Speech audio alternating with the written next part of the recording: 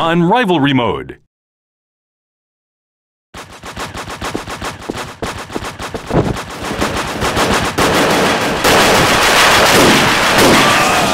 Blue team is now winning.